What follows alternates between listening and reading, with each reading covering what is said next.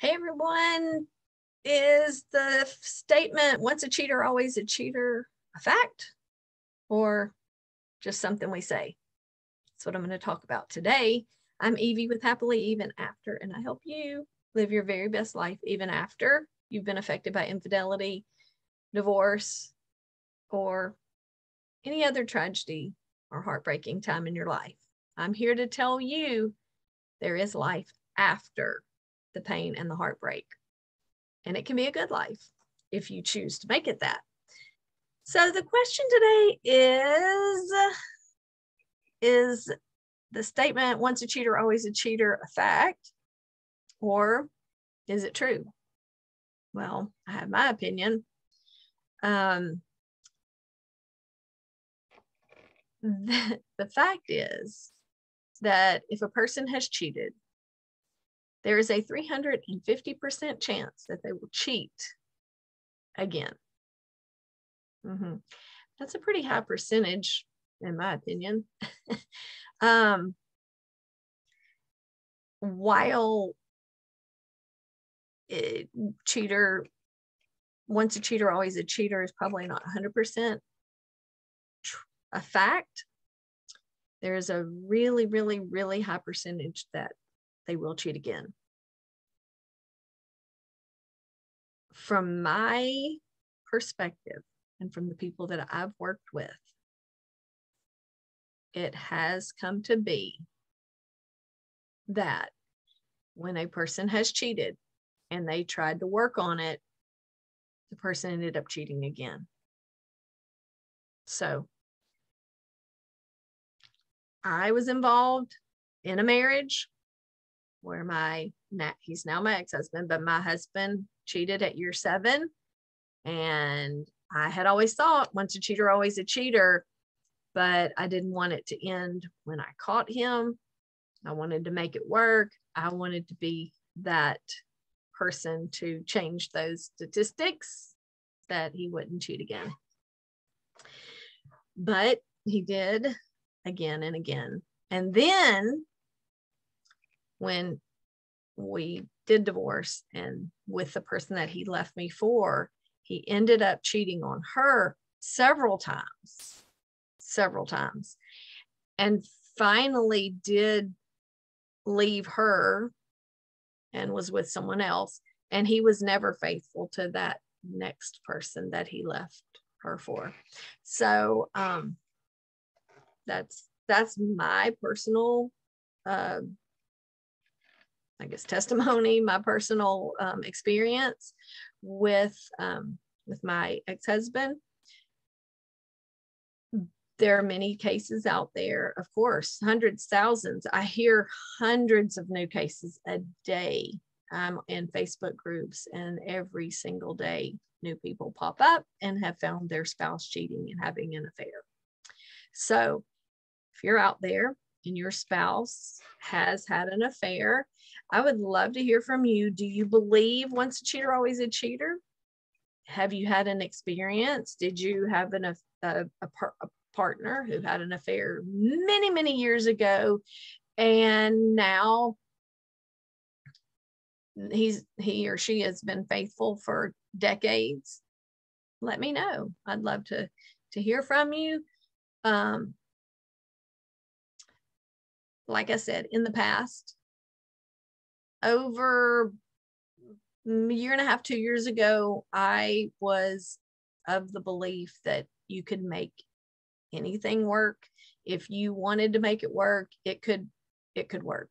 And I encouraged people to make it work. But what has happened is those people that I worked with, even though I worked with the one who was not the cheater, um, now years later their spouse is cheating again or has cheated again. So let me hear from you. If you're out there and you have made it work if you've been in a relationship and y'all made it work i want to hear from you. Um, I don't recommend people staying now. I'm not going to tell somebody to leave when they're wanting to stay, but what I will say is it's going to be a long road and a hard road. And the thing that has to happen is trust because when when a the natural response when a person catches their spouse cheating their natural response and it was mine too and i did this is clamp down gain control. Make sure you know where they are. Put a tracking device on them. Put a tracking device on their phone.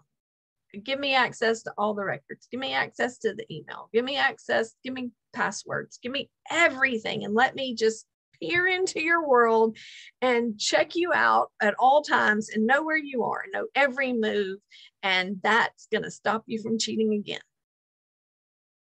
No. No i mean that's our natural response that's what we want to do we think we can control it we think we can control their cheating friends in my opinion, and from what I know from personal experience, cracking down on them, coming down on them, clamping down on them is the worst thing that you could do. And it will not stop them from cheating. If they are going to cheat, they are going to cheat. They'll find a way. They will, they will create new ways um, I've seen it. I've seen it.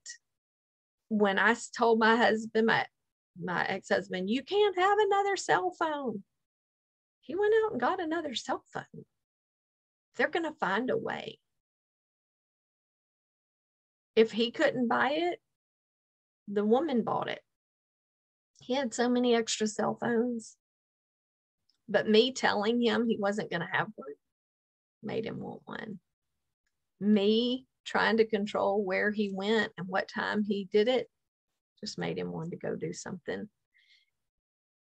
Friends, if your partner has cheated and you are the one that thinks you're going to make it work and you're going to stop them and you're going to fix it, I just don't think it's going to happen. Now, when I was in your situation, you couldn't tell me that you couldn't tell me. I thought, no, no, no, you don't know my situation. You don't know my husband. You don't know my determination. Well, what they knew was that there's a 350% chance that my husband was going to cheat again. And he did, and he did, and he did, and he did. And he wasn't going to be stopped. The thing is, once they open that door to cheating, and they get a taste of that, there, there's really no stopping them. So if you are going to stay together with your spouse after cheating, if that person is broken and sobbing and remorseful and calling, you know, the counselor and go by going to buy books and going to set up all types of different ways for y'all to make things work. I mean i guess there's a possibility um, but most that's not how it most likely happens. Um, what happens is the person who has been cheated on says we're going to go to a counselor we're going to read these books and you're going to do this homework okay they're not going to a counselor is not going to help how is going to a stranger going to make your lying, cheating spouse be uh, just instantly honest and then confess all this private information to a stranger? And then this stranger is going to make them do what they're supposed to do. No, it's not going to happen. I have a master's degree in counseling. I do not recommend go into a counselor. It's not going to help. It's not going to make that person change. It's not. I'm sorry to be the one to tell you.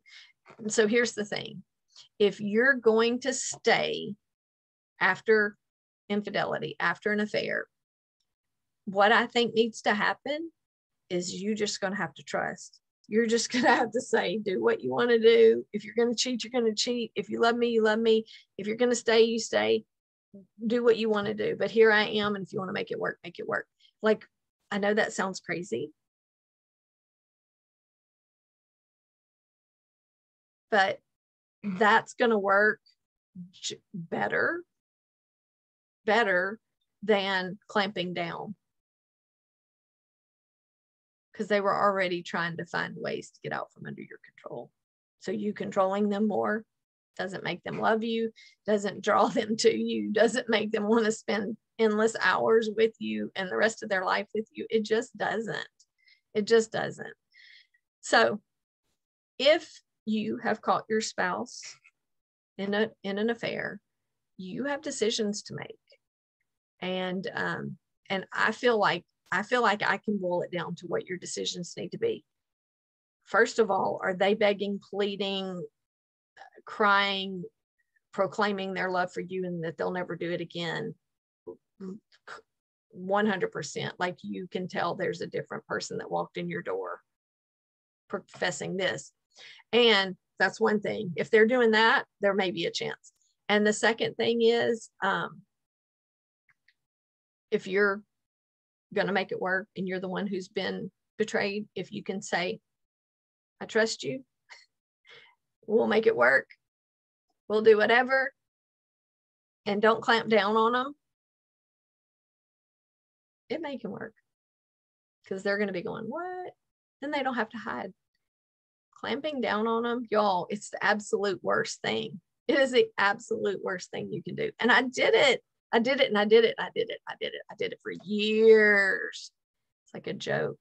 Now that I know my ex-husband and and how he operates, it was like me taking a match and lighting it and firing up firing it up. It just made him go do it a different way. It was a game. So contact me, y'all. I'll chat with you about it. Ask me questions. I'll do videos about it. You can work with me privately. I have groups you can work with me in. I have a link down below, my Beacons link. You can connect with me on every form of social media. If you watch my TikToks, I have lots of short little videos about this. Um, I'd love to help you through. There is great life after infidelity. There's great life after divorce. And I was the holdout. I thought there could never be life after divorce. There could never be happiness. There could never be joy. And I could never find someone I loved as much as I love my husband, it is not true. None of that's true. None of it's true. There's a great life after divorce. I'm living my very best life. I'm a much better person now than I was before because I did need a lot of things trimmed off my personality. I did. And I got them when I was laying on the floor, broken and hurting and crushed, that my whole world had fallen apart. Um, there's great life after. There's really, really great life after um, and that person that you're holding on to that you think is the absolute be all and end all he, they're not. They're not. That's just a fact. There's someone else out there that would suit you better that would fit you better that maybe have more likes and and interest than what you had with your spouse. You're trying to make it work because it's comfortable. You're trying to make it work because it's familiar. And yes maybe you made a vow but friend when he or she had an affair, that vow was broken. So, anyway, connect with me, uh, hit the like button, follow me, share this with anybody who needs to hear it. And like I said, if you have a question for me, I'd love to answer it in another video. I would love to chat with you about it. You can email me, connect with me in all kinds of ways. And until next time, have a happy day. Bye. See you next time.